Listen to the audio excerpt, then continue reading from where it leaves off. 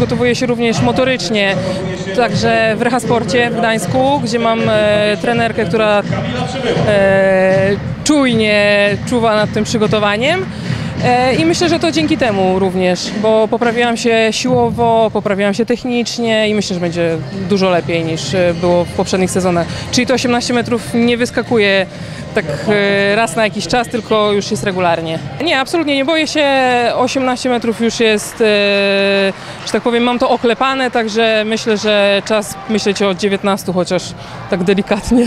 Bardzo mocno wzięłam się za trenowanie przede wszystkim. Myślę, że dorosłam do tego, żeby pchać daleko i, i myślę, że to będzie taki sezon przełomowy w moim życiu. Ja bardzo dużo w tym sezonie zmieniłam, od menadżera po klub, także Także no cóż, no tylko się cieszyć tym, że pcham daleko w nowym klubie i oni się cieszą z tego i ja również.